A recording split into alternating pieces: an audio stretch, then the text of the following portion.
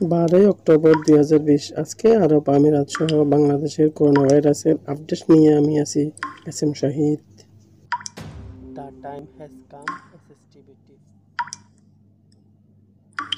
আজকে চব্বিশ ঘণ্টার মধ্যে বাংলাদেশে এক হাজার চারশো বাহাত্তর জন নতুন করে করোনা ভাইরাসের শনাক্তকরণ করা হয়েছে।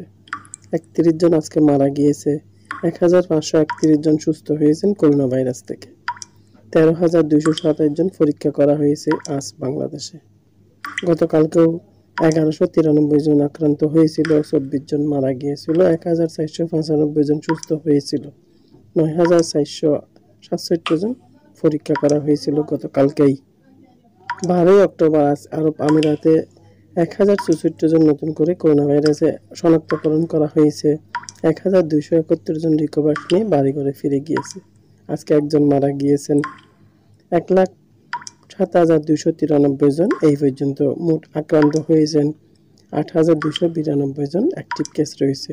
আজকে একজন সহ মোট মারা গিয়েছে চারশো ছেচল্লিশ জন। আটানব্বই হাজার পাঁচশো পাঁচপান্ন জন রিকভার্ড নিয়ে বাড়ি ঘরে ফিরে গিয়েছে গতকালকে এগারোই অক্টোবর এক হাজার ছিয়ানব্বই জন আক্রান্ত রোগী শনাক্তকরণ করা হয়েছিল। তেরোশো এগারো জন ভালো হয়ে বাড়ি করে ফিরে গিয়েছিল, দুইজন গতকালকেই মারা গিয়েছিল। আমাদের চ্যানেলে নতুন নতুন ভিডিও পেতে এখনও সাবস্ক্রাইব করুন এবং সবার আগে আমাদের ভিডিওগুলো দেখতে পাশের বেল আইকনটি ক্লিক করুন।